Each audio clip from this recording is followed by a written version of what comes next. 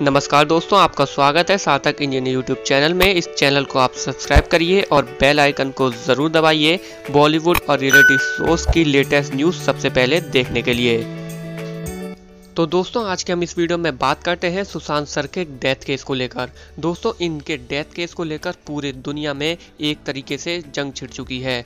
वहीं पर दोस्तों, रिया चक्रवर्ती पर बहुत सारे एलिगेशन लगे हैं और इसमें बीच में सलमान सर का नाम भी आया था। इसी बात को लेकर दोस्तों, सलमान सर के फैंस और सुशांत सर के फैंस दोनों बहुत सीरियस हो जाते हैं और वहीं पर इन्होंने ट्विटर पर ट्रेंड कर दिया है उत्तर प्रदेश के अंदर स्टॉप टारगेटिंग सलमान खान। दोस्तों, इस ट्वीट के एक लाख से ज़्यादा ट्वीट हो चुके हैं अभी तक। इसी के साथ दोस्तों, एक ट्वीट और ट्रेंड हो रहा है उत्तर प्रदेश के अंदर।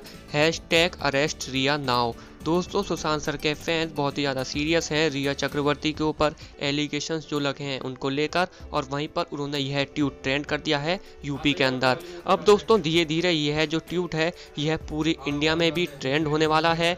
क्योंकि दोस्तों, रिया चक्रवर्ती पर जो एलिगेशंस लगे हैं, वो बहुत ही सीरियस एलिगेशंस में से हैं।